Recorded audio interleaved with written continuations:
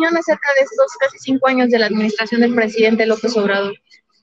¿Qué opina? Mi opinión, porque ha sido súper favorable y pues sí nos está brindando este lo que prometió y pues sí estamos viendo cosas que, que ha estado bajando de precio, pues ya que otros no, no nos han podido brindar lo que ahorita han estado brindando, pero queríamos ahorita ver si va a haber un cambio, pero creo que va a seguir Morena en adelante.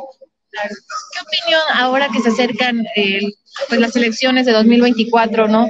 No sé si ya tiene alguna favorito favorito, Adán Augusto, Ricardo Monreal, Claudia Sheinbaum. No, todavía apenas estamos conociendo al primero, don Augusto.